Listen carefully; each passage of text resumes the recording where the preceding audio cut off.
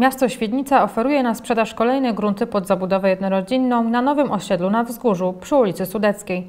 Przetargi na zakup 15 działek odbędą się 24, 29 i 31 października oraz 6 listopada tego roku w sali narad Urzędu Stanu Cywilnego w Świdnicy przy ulicy Armii Krajowej 47.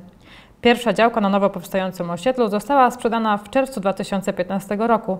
Od tamtego czasu swoich nabywców znalazły do tej pory 32 nieruchomości. Atrakcyjne grunty pod zabudowę jednorodzinną będą przedmiotem kolejnych przetargów zaplanowanych w październiku i listopadzie.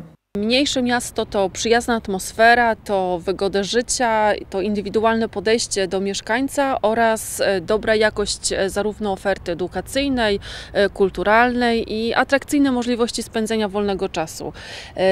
Tereny pomiędzy ulicami Bystrzycką a Westerplatte to jedno z bardziej malowniczych miejsc w Świdnicy z przepięknym widokiem e, na góry, dlatego też serdecznie zachęcamy Państwa do zamieszkania w Świdnicy na nowym osiedlu. Szczegółowe informacje o warunkach przetargów można uzyskać na stronie internetowej www.nieruchomości-świdnica.pl w zakładce Grunty.